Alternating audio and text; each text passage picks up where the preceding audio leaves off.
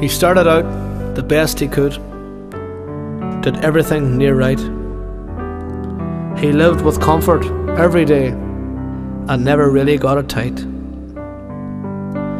He had a loving family. That's what most men would probably want. He would enjoy a drink, tell a joke, laugh, and maybe chant. He wasn't a bad old singer, and he indeed was the best of crack, but he also enjoyed to drink too much, and that sometimes would hold him back. From drinking on a Friday night, on Saturday just a few, on Sunday he would go for the cure, and maybe on Monday too. By Tuesday he'd come round again, by Wednesday he'd be grand, but he couldn't wait till Friday. So on Thursday, he'd just have won.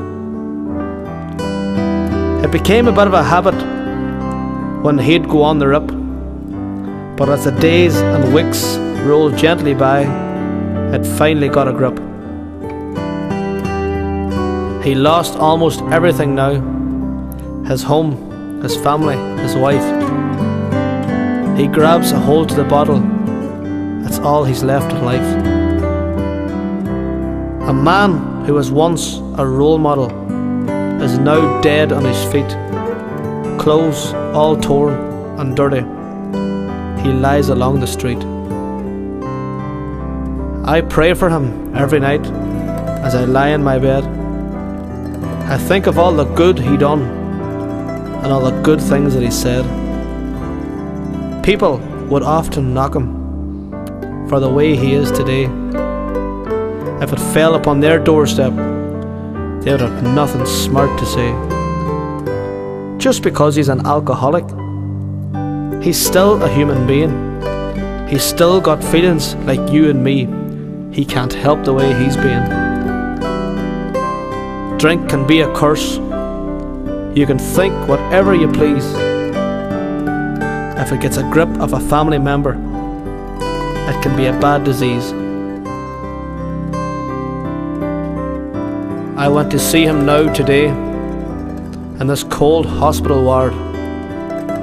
The bottle was replaced in his hands by a picture of our Lord. He's well dressed now at sea for the first time in years.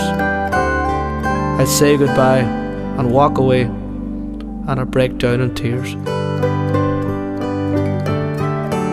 His pain has finally ended. I hope he now can rest. You know, if drink hadn't have caught him, he would be by far the best. Don't knock a man who's down, an alcoholic on the street. He'd give his life and so much more to get back upon his feet. There's a lesson in this poem. If you would only stop and think, live your life and live it well, but don't spoil it with too much drink.